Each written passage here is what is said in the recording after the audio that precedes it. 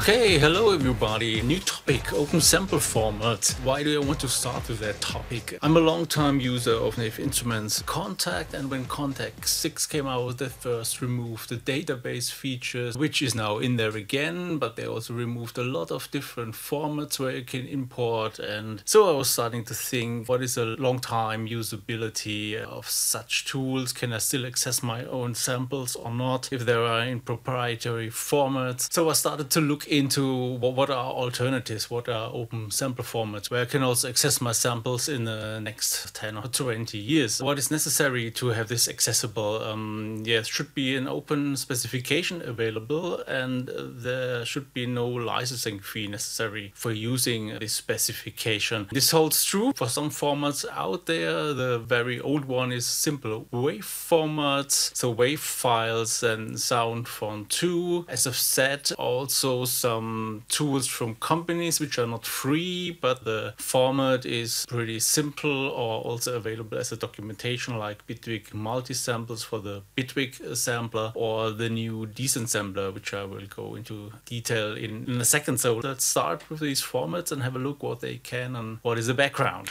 So first one, good old wave format was developed by IBM and Microsoft back in 1991 and it's based on the RIFF format. So the RIFF format was uh, the base format which contains of different parts and these parts are called chunks and there are different specifications how you can use these chunks and fill these chunks and one of them is the wave format and you find these two specifications. First one is multimedia programming interface and data specifications which talks about RIFF and some implementations of RIFF and what what you can do with it. And then new multimedia data types and data techniques in version 3 is another format specification which talks specifically about Wave and also for extensions. What many people don't know about, and also I was not aware of that, you can build full blown instruments, so key ranges, splits, and layers, and all these things only with Wave files. But uh, the sad news about that is there are it's very rarely used, and I'm not aware of any tools which support such things. So so even the some WAV files you find which have uh, layer information, uh, they contain totally nonsense information in the sample chunk uh, data. For example, wrong base nodes and things like that. Yeah, so not that really usable. It could be used, but sadly the tools are not really available for that. So Soundfont 2, another prehistoric format from back in the 90s, uh, back then mostly driven by Emu Systems and Creative Labs. Uh, Emu Systems was bought by Creative Labs after some time also in the 90s. And the current version is 2.04, the Soundfont technical specification, also easily to find and downloadable on the net. I forgot that also here the, those two specifications are publicly available on the net and just enter the name and you will find it pretty easily. Yeah, back to Soundfont 2. So was first with the good old Sound Blaster sound cards back then for the PCs. Uh, and the main idea was to have basic set of sounds based on samples. And it's also based on the RIFF format, so like wave. And the file extension is SF2. So what it adds to the RIFF format are specific chunks, again for instruments and presets and samples. Uh, more for that in a second. The main thing about it is it's only one file, which makes it easy to handle, but not so easy to deal with if you don't have the tools to manage it. So uh, the samples and the metadata description for the for your instrument are in one file. So you definitely need tools for editing and uh, using that. As I said, it contains presets, instrument, and samples. So an instrument consists of several samples which can be layered, velocity layered, can be split into parts, and then these instruments can be combined into presets, which is very powerful, so you can have several ones. But in practicality, the handling is not so easy of such a file. So I would prefer to keep this separate into one instrument file, but that's also something you can do with that format as well. And it contains not only those basic uh, layering and split support parameters, but also additional subtractive synthesis like envelopes, filters, effects, modulation also. The problem with that is that it depends then on the tool tool which interprets the information how it sounds. So it's not guaranteed that all these samples sound then the same depending on the settings and your engine which deals with those parameters. And it's also a limitation. It's only designed to store 16 or 24 bit samples.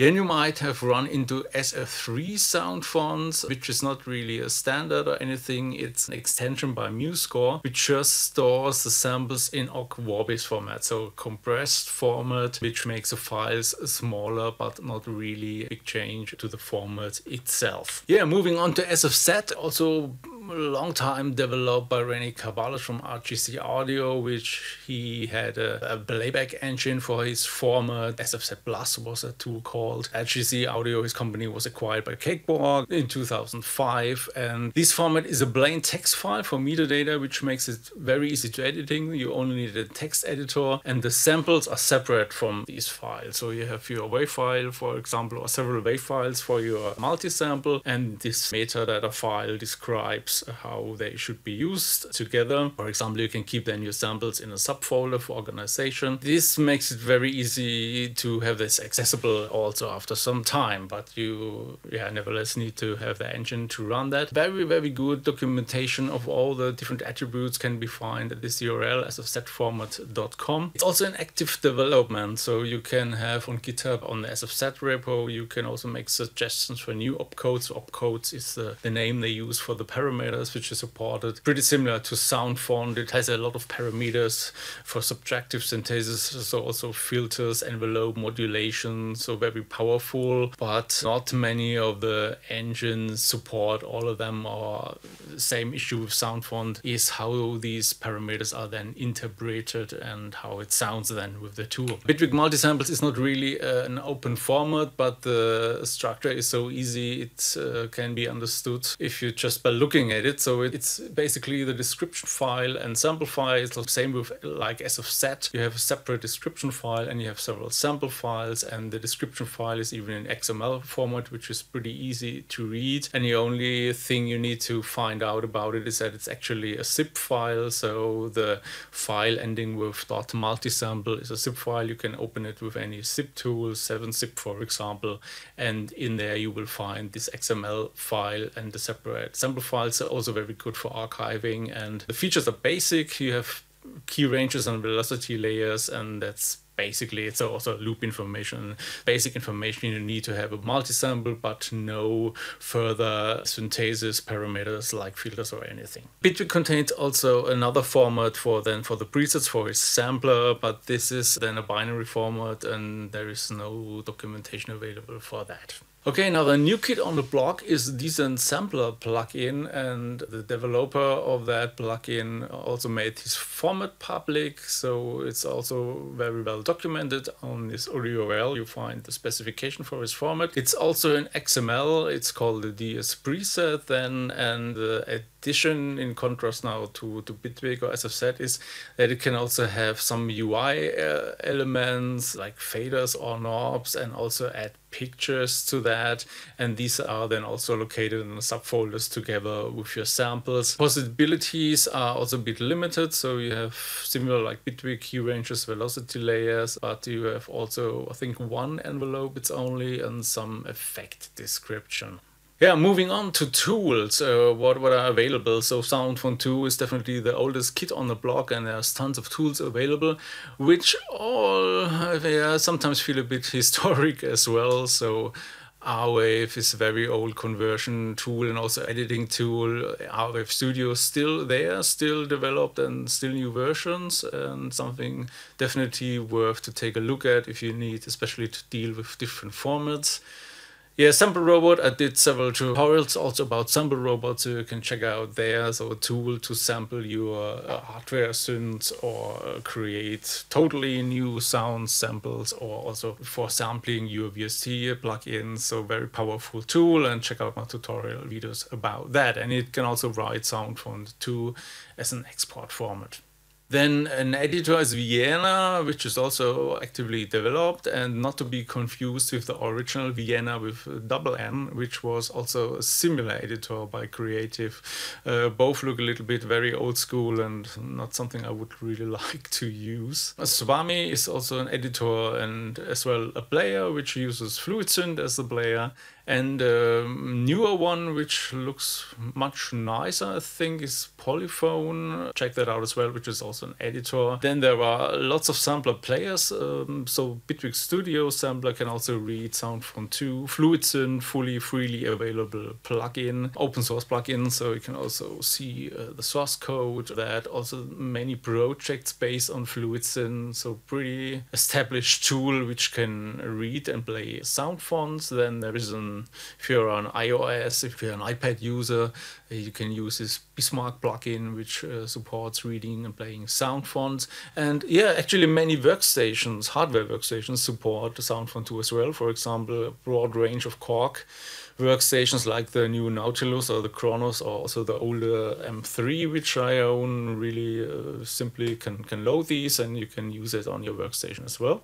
And also the latest Roland Fantom editions, uh, they provide an external converter which can convert SoundFont two files to SFZ, which is a native format of the Fantom. So it's also easily to bring uh, good old sound from the sounds into your Roland Fantom. Okay, uh, moving on to SFZ, which is a bit newer, so not so many tools available, but also Awave, Sample Robot, Polyphone, which I already mentioned before, support these formats. And for both are lists on SFZ format side, so you can check out much more tools which are available and also players which are available. Also, the Bitwig Studio sampler can read the format. Linux sampler, which you might have heard of, also speaks uh, SFZ.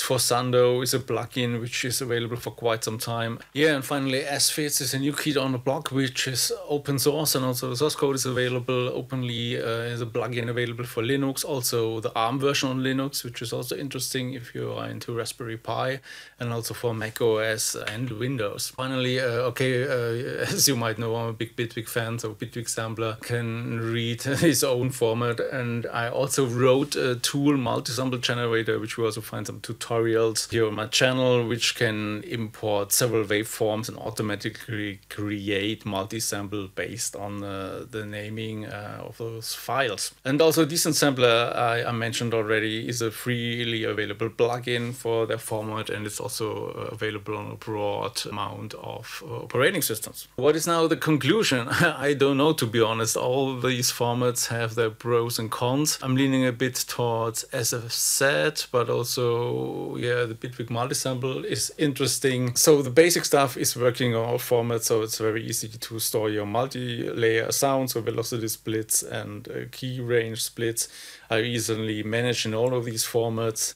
And I think you can also access them in several years. If you are into parameters, it's getting difficult and it's highly depending on those tools. As I said, I already have this multi-sample generator tool, which only runs in, in Bitwig, and I'm working on a new, much more powerful converter tool which can convert between these formats I presented here. And that was also the idea before releasing this tool to give an understanding about the possibilities of these different formats. And yeah, let's see what the future brings. And yeah, make some funky music.